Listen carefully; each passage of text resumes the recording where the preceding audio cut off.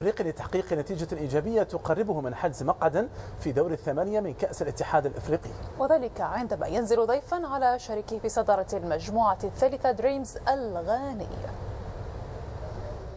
من أجل وضع قدم في الدور ربع النهائي من كأس الكاف قبل جولة من نهاية سباق دور المجموعات سيسعى النادي الإفريقي بقيادة مدربه الجديد المنظر الكبير لتحقيق نتيجة إيجابية عندما ينزل ضيفا على شريكه في الصدارة دريمز الغني.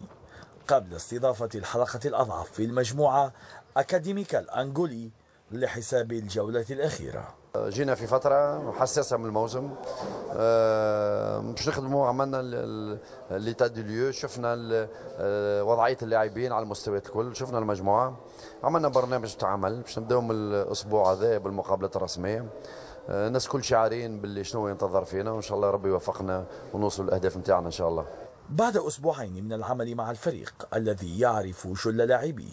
يعد النجاح في المسابقة القارية أولوية بالنسبة للمنظر الكبير وأحد أهم الأهداف التي تم الاتفاق عليها مع إدارة النادي. والخطوة الأولى في مشروع المدرب الجديد للنادي الإفريقي ستبدأ بمواجهة دريمز في غانا. المقابلة هذه يلزمنا نمشيو لها بفكر باش نربحوا. ما ربحناش نتعادلوا.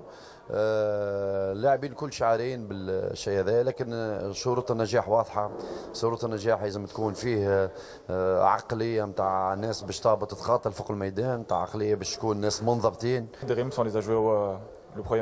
لعبنا ضد دريمز في الذهاب ونعرف جيدا خصال هذا الفريق وأيضا نقاط ضعفه. نحن أيضا أدركنا أخطاءنا ونعمل مع المدرب على تحسين الأداء وذلك من أجل العودة بنقاط الفوز من غانا بالذات.